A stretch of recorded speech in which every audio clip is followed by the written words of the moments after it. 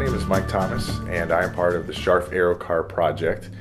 Roy Scharf and I have been friends for many years since high school, and we share a common interest of aviation and flight simulation. And we realized very quickly that uh, we wanted to design something that could make an impact in the world of aviation and could open the door for people to travel in a way that they never have traveled before. All right, well, my name is Roy Scharf, and I'm doing the lead design work on the Aero Car project that we're working on. So, my family and I took a vacation to Walt Disney World a couple years ago. And uh, like everybody else, we bought four airline tickets, flew from Pittsburgh to Orlando, spent roughly $1,500 between traveling to the airport, parking, tolls, and the actual cost of flying. We had a great trip.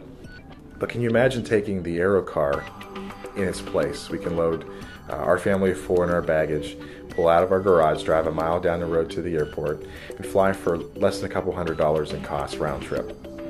What originally got me interested in aviation or aerospace in general was actually in high school. One of our classes had a, a real, it was a real rudimentary flight simulator. And I wanted to fly the Learjet that was on there because they had maybe a little Cessna and I thought the Learjet was just the cool thing to fly. Uh, but I was one of the only ones that was able to land it. And uh, my background is essentially, I was originally in aerospace engineering at the Embry-Riddle Aeronautical University. My role in the project is to take the Scharf Aero car through the venture capital process and take it to the marketplace. Our goal is to build a prototype of the Scharf Aero car for the purpose of testing and licensing it. When we do that, we intend to have a one-year public relations tour taking the car to uh, different aeronautical events, air shows, touring the country and the globe, showing folks the reality of owning a flying car affordably. It makes it takes the idea of the flying car, which has been around for a while, they've been developed, just not really marketed very heavy, and makes it more practical for the average person, and makes it basically more marketable essentially. Some of the key features of the Scharf Aero car are the fact that it runs on everyday diesel fuel that can be bought at any gas station anywhere around the world. A family can fold up the wings, hit the highway, take it down to a gas station, fill up the tank, and be off on their journey.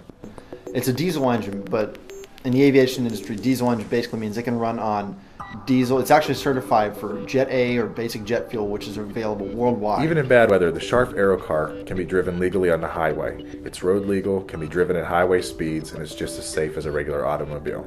We estimate that the Scharf Aero car on the road can achieve at least 25 miles a gallon, possibly as many as 40 miles per gallon. Nonetheless, it still will perform with the best full-size SUV out there. Fully loaded, the Scharf Aero car can achieve 23 miles per gallon and cruise at a speed of 130 knots through the air.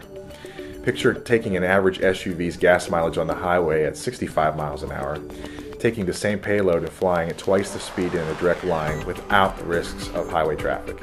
Roy and I are both from Franklin, Pennsylvania, which is on the western part of the state. One of the most exciting things about this project is the prospect that once we start booking orders for the Scharf Aero car, it can be built and produced right here in our hometown, flown out of Venango Regional Airport and built by the folks that live in Venango County.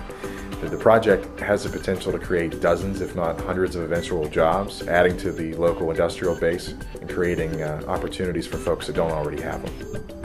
We're building this project for you. If you love travel and you want to see the next step in travel for everyday people around the world, we're asking for your support for the Scharf Aero car. Roy, what will it take to get the Scharf Aero car airborne? With the parts and the engine being the most expensive part, uh, we're estimating that roughly a quarter million dollars can get this built and off the ground. So for only $250,000, this project can go from the computer screen in the simulated skies to the real skies, and the first Scharf Aero car prototype will fly.